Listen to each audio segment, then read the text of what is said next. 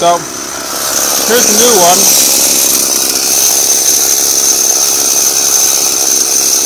Chainsaw motor on it. It's a 42cc Homelite motor. And take it out for a rip. So let's go. It's very warm, so it I can just rip on it now. So here we go.